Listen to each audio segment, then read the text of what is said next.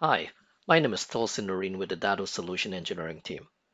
In this video, I'll demonstrate and discuss the steps to take in deploying a virtual SIRIS appliance in VMware's ESX. The virtual SIRIS appliance provides MSPs with flexibility of deploying SIRIS in Hyper-V and ESX environments. Rather than utilizing a Datto physical SIRIS, MSPs can opt to deploy the solution as a VM it is not uncommon to see virtual SIRIS appliance deployed in hypervisors that have sufficient compute and storage resources. These environments can be within a customer environment or a colo facility or even a bare metal cloud provider's facility where partners have full control over the hypervisor. Before deploying a virtual appliance on ESX, a number of considerations should be made.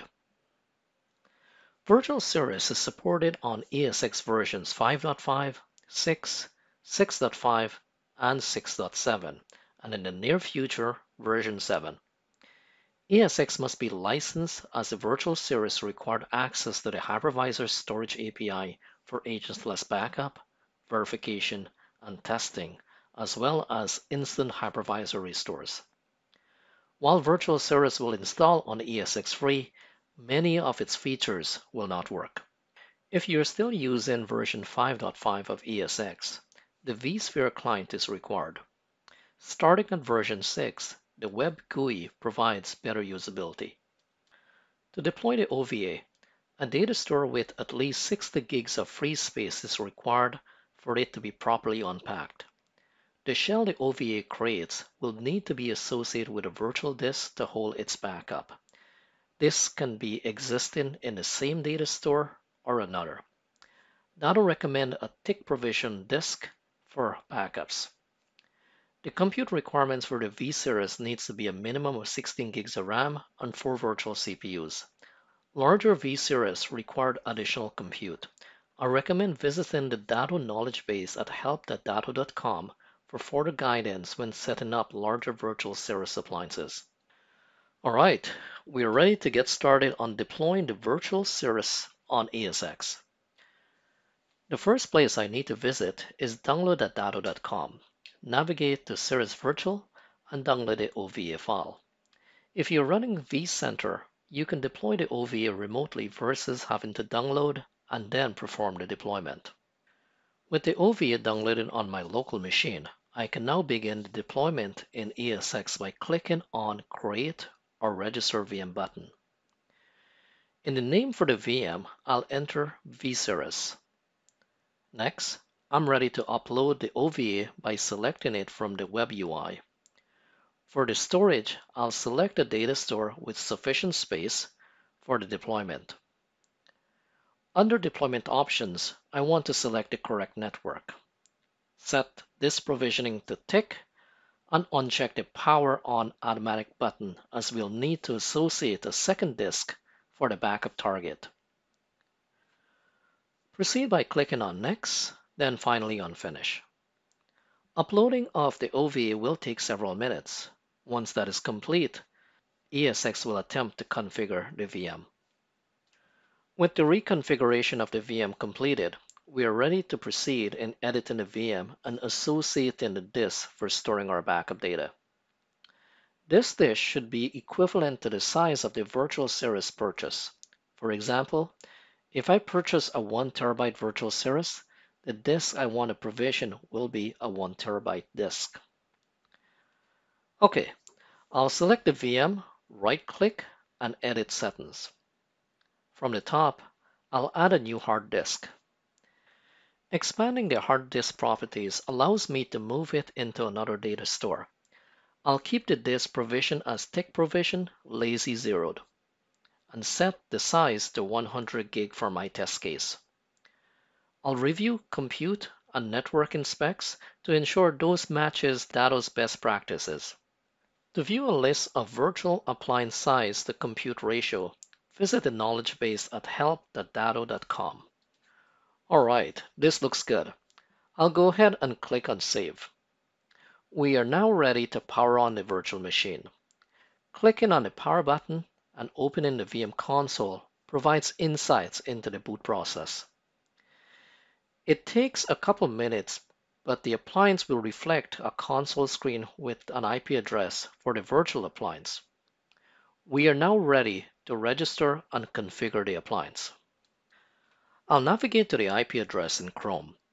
When you purchase a virtual SIRIS appliance from the Datto store, an authorization code will be emailed to you. Go ahead and enter the code here. I'll validate the code by clicking on the Validate button. With the code validated, we can now proceed to update the appliance. All Datto appliances follow an update process during the registration to get the latest security updates as well as feature enhancements. Updates may take 10 to 15 minutes to process. Please allow ample time for this process to finish. With the appliance up to date and reboot, we are ready to proceed on configuring the storage. Recalling from earlier, I purposely created a storage disk of 100 gig. The minimum virtual SIRIS appliance is 1 terabyte with a maximum of 60 terabyte at the time of recording this video.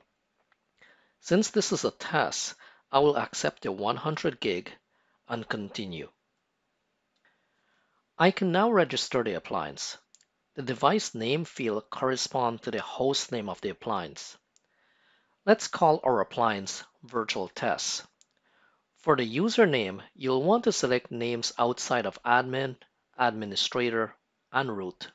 These are all reserved names. I'll enter Tulsi as a username with a strong password. For email alerts, I'll enter my Datto email.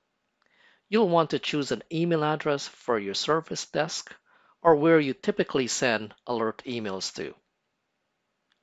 Time zone is extremely important on the appliance as we use this value to initiate backups. Picking the wrong time zone will offset your backup schedule. I'll leave it as America, New York, Eastern Time. The offsite data storage location need to reflect the residency of the data set. In my case, I'll set this to Canada. Lastly, I need to check the box for allowing installation of third-party software and drivers. The Datto Virtual SIRIS appliance runs a Ubuntu operating system and it requires update for its OS and its components. I'll leave the device migration option unchecked as we are not migrating data from another Datto appliance to this one. I'll finalize the registration by clicking on Complete Registration. Alright, so that's it. We now have a virtual SIRIS in ESX registered and ready for use. The yellow banner that you're seeing at the top is informing us that we'll want to pair with a hypervisor for screenshot verification and hypervisor restores. We can use either ESX or Hyper-V for this.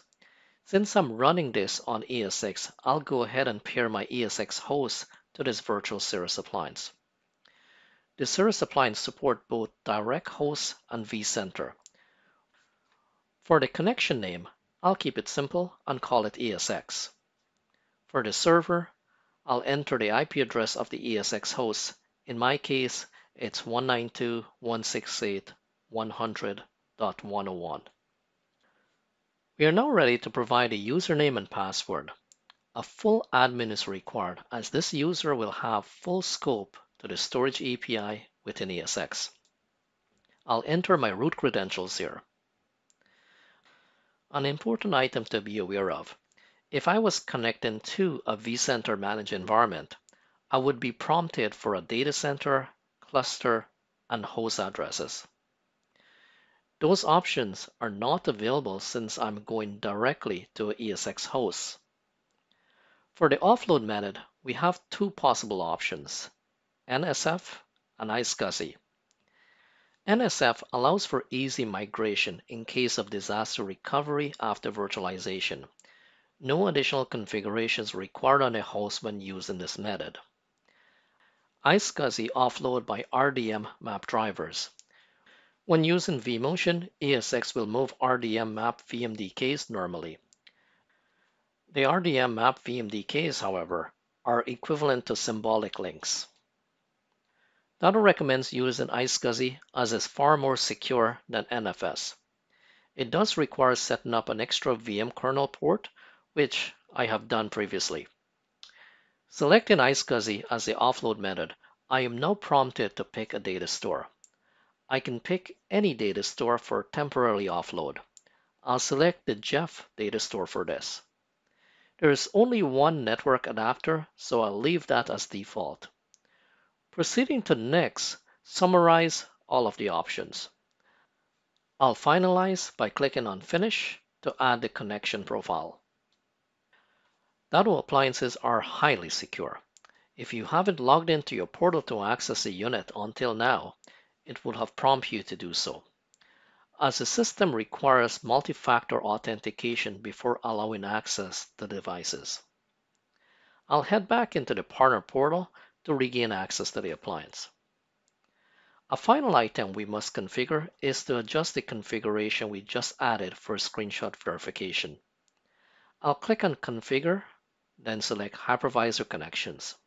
From here, I'll simply check the radio button used for screenshot verification. When a system is ready to run through its boot verification process, it'll use this hypervisor connection to offload to this hypervisor. And just like that, we have reached the end of configuring our virtual service appliance on ESX. I hope you found this video informative. Thanks for watching.